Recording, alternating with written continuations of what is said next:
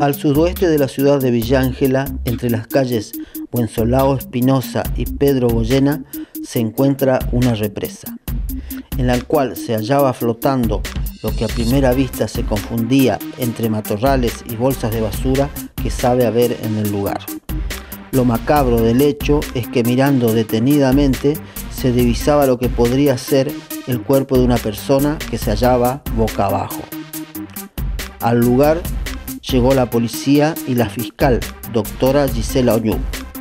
A la hora 12 y 40 aproximadamente, luego de las pericias correspondientes a cargo de la policía científica, se procedió a retirar el cuerpo, que se trataría de un masculino, que concuerdan con las características del señor Luis Barco, de 29 años de edad, quien se encuentra desaparecido desde la madrugada del domingo 25 de junio según lo denunciado por su padre, el señor Raúl Barco. Lo llamativo fue que en el lugar se encontraban familiares de Luis Barco y luego de retirado el cuerpo rompieron en llanto.